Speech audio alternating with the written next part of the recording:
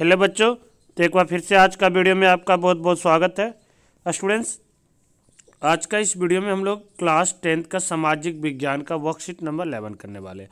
और जैसा कि पता है कि आपका सामाजिक विज्ञान से अभी भूगोल से वर्कशीट आ रहा था, यानी कि जोग्राफी से। तो आज हमें जोग्राफी में और उसमें से भी आपका एक दो दिन से कृषि से, यानी कि एग्रीकल्चर से वर्कशीट आ रहा था। तो आज हमें पढ़ना है नकदी फ़सल एवं आवश्यक जलवायु। यानी कि जो नकदी फ़सल क्या होता है उसके बारे में और उसके लिए क्या क्या क्लाइमेटिक कंडीशन क्या क्या चाहिए वो चीज़ पढ़ेंगे।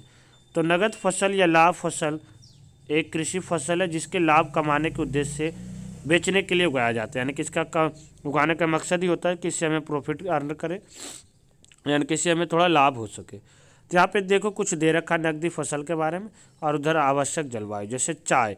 तो चाय की झाड़ियाँ को साल भर गर्म और नम पाले की मुक्त जलवायु की आवश्यकता होती है, यानी कि वहाँ पे पाले वगैरह नहीं पड़ना चाहिए और गर्म भी होना चाहिए।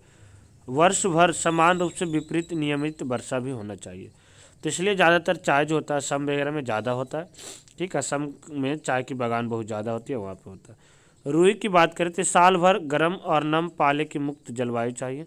यहाँ भी पाले वगैरह नहीं पड़ना चाहिए, ठंडा ज़्यादा, ठीक है? उसके बाद ढक्कन के पठार की काली मिट्टी के कपास की अच्छी तरह से विकसित होता है और इसकी वृद्धि के लिए उच्च तापमान, हल्की वर्षा या सिंचाई या दो सौ दस ठंड मुक्त दिन और तेज धूप की आवश्यकता होती है।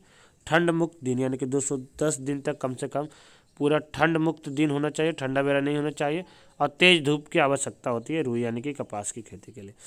गन्ना की बात करें तो यह उष्ण कटिबंधीय और उपोष कटिबंधीय फ़सल है। यह इक्कीस डिग्री सेल्सियस से सत्ताईस डिग्री के तापमान और पचहत्तर से सौ सेंटीमीटर के बीच में बारिश, वार्षिक वर्षा के साथ गर्म और आर्द्र जलवायु में अच्छी तरह से बढ़ती है। यानी कि यहाँ पे आप लोग देख रहे हैं इससे बहुत ज़्यादा मात्रा में बारिश की आवश्यकता पड़ती है गन्ना की। रबड़ की बात करें तो यह एक भूमदेलेखीय फ़सल है, लेकिन विशेष परिस्थितियों में इसे उष्ण कटिबंधीय और उपन पोषबंधियों के क्षेत्र पर भी उगाया जाता है। 200 सेंटीमीटर से अधिक वर्षा के साथ। इसके लिए नम और आर्द्र जलवायु की आवश्यकता होती है और तापमान 25 डिग्री सेल्सियस के ऊपर से भी। ठीक है बच्चों? तो यहाँ पे सबसे अब यहाँ से आसानी सा तीन सा क्वेश्चन है।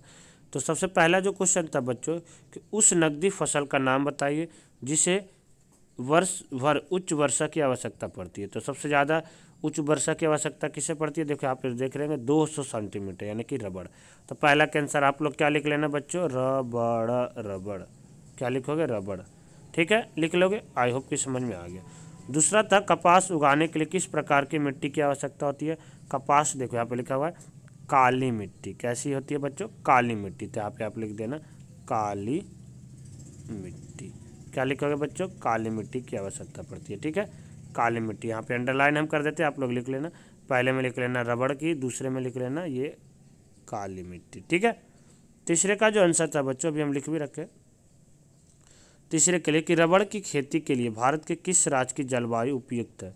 और राज्य साक्षर दर के लिए भी जाना जाता है तो केरला, क्या होगा बच्चों? केरला में, यहाँ से आप लोग केरला, ठीक है? केरला का सबसे ज़्यादा एक लिटरेसी रेट है, उसी के लिए जाना जाता है। और रबड़ की खेती वहाँ पे सबसे ज़्यादा मात्रा में होती है। ठीक है? तो आई होप कि ये तीनों का आंसर आपको समझ में आ गया होगा। फोर्थ का जो आंसर अभी नीचे हम करके बता भी रखे, आपको बताएँगे कि चाय की फ़सल और उत्तर पूर्व पहाड़ी क्षेत्र पर क्यों उगाई जाती है? जबकि उत्तर नहीं थे, आप लिखोगे कि चाय की फ़सल, देखो यहाँ पे हम लिख देते हैं, नीचे आंसर इसका बता देते हैं। और देखो फ़र्स्ट में बाय द मिस्टेक गन्ना लिख दिया, आप लोग रबड़ लिख लेना, ठीक है? रबड़ रबड़।